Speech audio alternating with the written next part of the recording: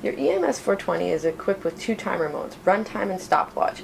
Both count time in one minute increments and display a time active indicator on the right hand corner of the display screen when the timer is active.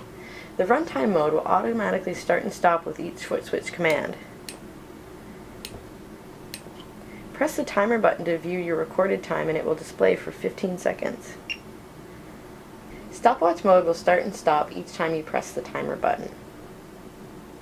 Press the timer button once to show the stopwatch display and a second time to start or stop the timer.